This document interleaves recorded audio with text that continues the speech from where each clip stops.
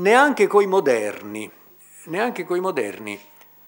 Eh, non voglio dilungarmi troppo in questa parte iniziale, ma vorrei sintetizzarla in alcune voci, la prima delle quali è di un grandissimo storico inglese, Edward Gibbon, alla fine del Settecento, è un classico potremmo dire, oltre che un grande libro di lettura, storia della decadenza e caduta dell'impero romano, che più e più volte torna su Augusto e il giudizio che egli formula eh, merita che io lo legga, il devoto rispetto di Augusto per la libera Costituzione che aveva egli stesso distrutto. Non si può spiegare che con un attento esame di questo sagace tiranno. Una mente fredda, un cuore insensibile, un animo codardo gli fecero prendere all'età di 19 anni la maschera della ipocrisia che non depose mai più. Con la stessa mano e forse con lo stesso spirito sottoscrisse la proscrizione di Cicerone e il perdono di Cinna. Le sue virtù, come pure i suoi vizi, non erano naturali e nel proprio superiore interesse fu prima il nemico, poi il padre di Roma. Giudizio direi totalmente stroncatorio, e molto incentrato sulla figura morale e questo giudizio, diciamo così, ha un, una radice nelle letture essenzialmente tacito, naturalmente, che Gibbon, grandissimo lettore, aveva fatto e ha influenzato un filone storiografico che arriva fino a un grande storico del Novecento, Ronald Syme, baronetto, a un certo punto, Sir Ronald Syme, autore di un libro celebre, che è anch'esso di grande piacevole lettura, La rivoluzione romana, Roman Revolution, che esce a Oxford nel 1939, è stato scritto un po' prima e che è stato un gran problema storiografico, cioè l'atteggiamento di Saim riguarda Augusto naturalmente, ma è tutto esplicitamente riferito alla situazione presente dell'Europa in quegli anni. Quindi ter terminologia che lui adopera è allusiva, no? la marcia su Roma, eccetera. Pax et Princeps, Tota Italia sono i titoli di alcuni capitoli di questo libro.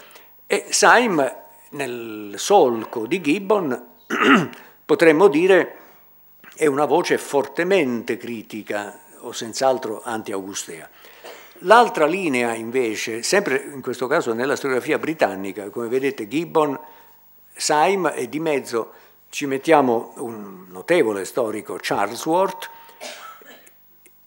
che è il, la voce opposta, le sante menzogne, cioè grandissimo politico che fa forza in certo senso alla sua stessa coscienza morale avendo in mente un grande obiettivo. Quindi tutto quello che egli fa si può giustificare, si può comprendere, anche la manipolazione massiccia della pubblica opinione, eh, l'addomesticamento della cultura, eh, la freddezza con cui ha giocato gli alleati eh, dismettendoli senza problemi, le sante menzogne. Non è, come dire, trionfale come risultato per un uomo che però ha rappresentato alla fine la durevolezza della soluzione politica del Principato. E allora a questo punto conviene fare un salto cronologico non spericolato, ma che ha un suo senso per considerare retrospettivamente la carriera di quest'uomo. Ancora una volta facciamo capo ad un testo al quale ho fatto riferimento prima, e cioè gli annali di Tacito. Gli annali di Tacito cominciano con un quadro, un panorama dell'ultimo tempo di Augusto, e già nel capitolo 7-8 della nostra partizione in capitoli del primo libro si parla dei funerali di Augusto, della cerimonia complessa che si svolge lungo tutto il tragitto, no? il feretro viene portato da Nola, dove lui è morto, a Roma, attraverso ali di folla, poi arriva in Senato una vera e propria delegazione, cioè Tiberio e il figlio Druso, che recitano davanti al Senato il testamento di Augusto, le res geste e il breviarium dell'impero, tre rotoli fondamentali di cui abbiamo le res geste e non abbiamo gli altri due. La seduta senatoria viene descritta da Tacito minuziosamente, viene descritta la scena dei funerali, quello che viene detto pro e contro Augusto nel eh, vivo della cerimonia funebre e poi l'esordio di Tiberio ormai successore designato. Sono pagine fondamentali dal punto di vista della psicologia del potere, dal punto di vista artistico naturalmente, e ci si può domandare come Tacito conosca così nel dettaglio quelle ore, quei minuti cruciali in cui si svolge la seduta senatoria e poi le cerimonie successive. Tacito, vi ho detto prima, vive tantissimo tempo dopo, no? certamente negli annali ormai saremo sotto al passaggio da Traiano ad Adriano probabilmente, eh, perché c'è un libro di Saim molto importante su Tacito, che il suo autore in certo senso, in cui si suggerisce che la successio, il passaggio da Augusto a Tiberio molto sofferto, Augusto non amava moltissimo questo figlio adottivo, figlio in realtà di Livia, che lui aveva sposato in un certo momento, ma Livia gliel'ha saputo imporre anche perché altri successori designati sono via via morti, con una certa cadenza che può anche suscitare sospetto, evidentemente. L'assassinio politico fa parte della prassi, diciamo, del potere in tutte le epoche, ma in questa in, par- in particolar modo. Lui ha probabilmente raffigurato il passaggio ambiguo da Adriano, da, da Traiano ad Adriano, anche lì c'è una, una plotina che incombe perché eh, Adriano subentri. È probabile che abbia ragione Saim nel dire che è modellato sul passaggio da Augusto a Tiberio. Comunque, oltre un secolo c'è di mezzo, ci sono gli Acta Senatus naturalmente, quindi certamente gli Acta Senatus erano una fonte importantissima e poi c'era tanta storiografia per noi perduta che di questo largamente si occupava, magari con spirito di parte. Fatta questa premessa, la scena l'ho già detta, Augusto che ha provveduto minuziosamente al suo come si usa chiamarlo ora, fine vita. Minuziosamente, anzi quando muore, lucido fino all'ultimo, racconta Svetonio, che anche egli dispone di fonti di prim'ordine, ha voluto farsi pettinare, ha voluto farsi bello, ha chiesto ai presenti ho recitato bene la commedia, citando dei versi forse da un poeta comico, aveva la sua eccellente cultura, eh, diciamo classica, il repertorio greco e latino gli era ben noto. È una domanda inquietante, no? ho recitato bene la commedia, getta quasi una luce non favorevole su questa grande opera che egli ha compiuto di costruzione di uno, di uno Stato dopo un secolo di guerre civili, cosa che spesso si dimentica. Oltre a ciò, nell'ultimo tempo ha continuato a limare le res geste, aggiornandole via via, a completare il breviarium dell'impero,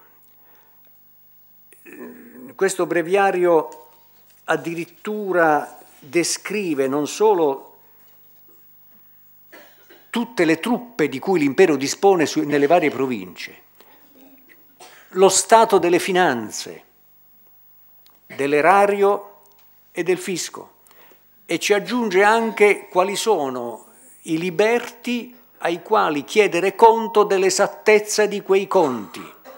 Quindi lasciamo perdere il feroce tiranno e va bene, ma certamente una mente capace di considerare l'amministrazione dello Stato in ogni suo aspetto con una serietà e uno scrupolo che tutto sommato noi vorremmo vedere riproporsi nel tempo. Però ogni epoca ha i suoi problemi.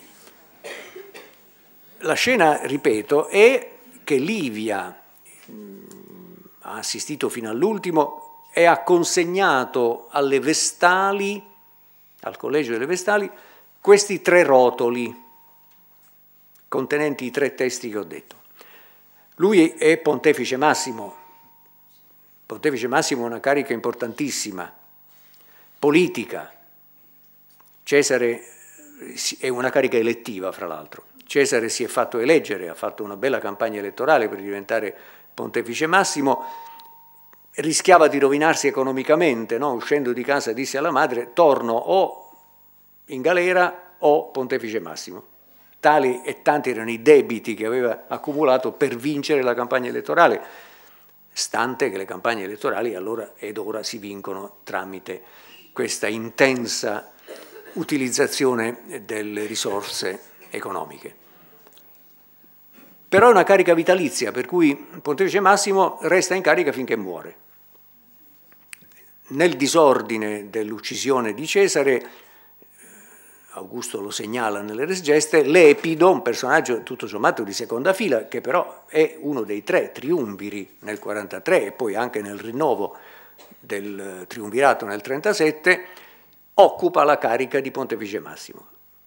Augusto lo detesta, gli toglie anche le truppe dopo la guerra con Sesto Pompeo, accusandolo di essere stato ambiguo nel conflitto, nella guerra tremenda con Sesto Pompeo, ma non lo depone da Pontefice Massimo, perché sa che a Roma il Pontefice Massimo deve morire nel suo letto.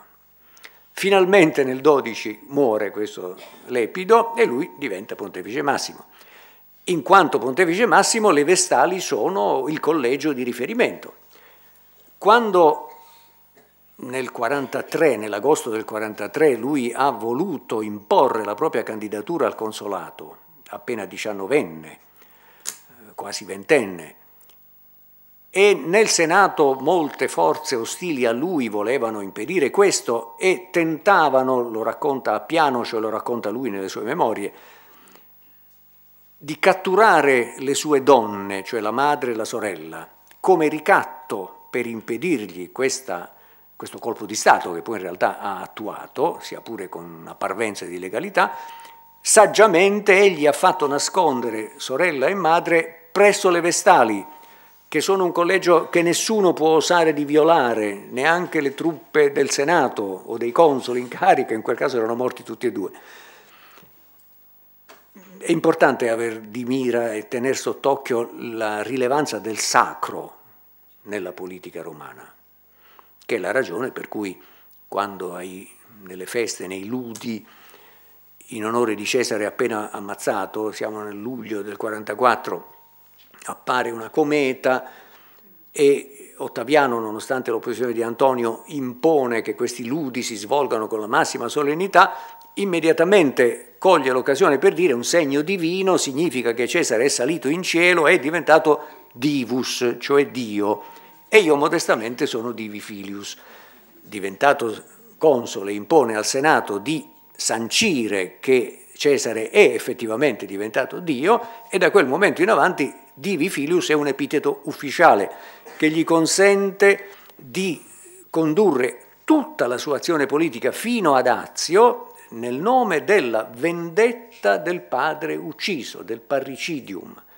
Ecco, il sacro, il sacro ha un'importanza enorme, quindi consegnare alle vestali i tre rotoli significa metterli non dico in una cassaforte blindata, ma molto di più. Questi tre rotoli vengono tirati fuori solennemente e letti davanti al Senato. Chi li legge? Non Tiberio, ma il figlio, giovanissimo, Druso. Come comincia il testo delle Res Geste? A 19 anni ho raccolto a spese mie, privata impensa e per mia decisione, privato consulto, un esercito, quindi un esercito privato, col quale rem publicam a dominazione faczioni soppressam in libertatem vindicavi, con cui ho salvato